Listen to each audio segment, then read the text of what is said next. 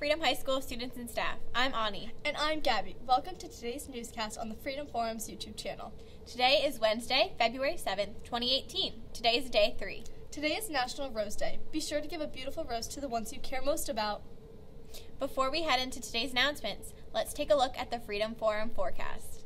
Today's weather is definitely looking like a snow day for us students. We're starting off the morning in the mid 30s with a wintry mix of snow and rain. By mid afternoon, the temperature will rise into the mid 30s and will change to a rain and sleet showering.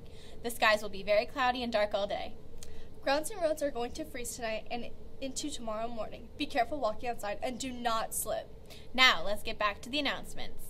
Want to let someone that you know that you care and have their back? Send them a Valentine's Day candygram. The candygrams will be hand delivered to your special someone on Valentine's Day, February 14th during Block 1 or Block 4. Stop by the Candygram table outside the cafeteria to place your order.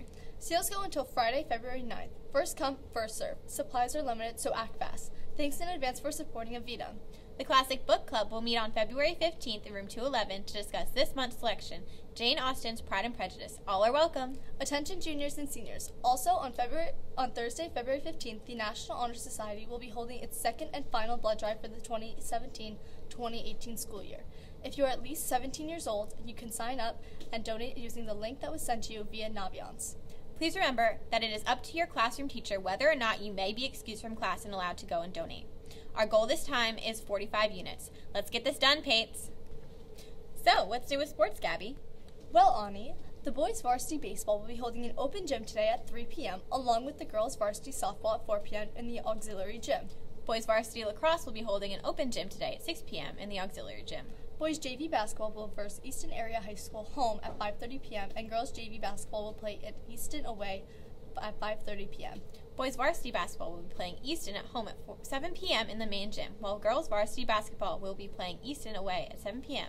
Tonight is Student Teacher Recognition Night. Congratulations, Pates. Attention spring sports and athletes. Spring sport physicals are around the corner.